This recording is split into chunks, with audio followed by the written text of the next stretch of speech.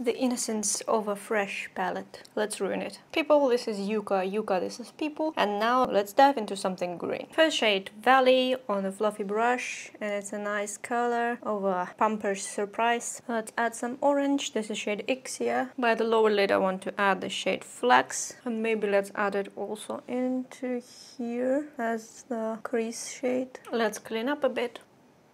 A bit of concealer and onto everything with a flat brush I will be placing shade Plantasia just dabbing it on and to match the theme I want a brown liner I'm Cacao and Kaleidos Hot Pursuit. I'm slightly tired of false lashes so this is the final look.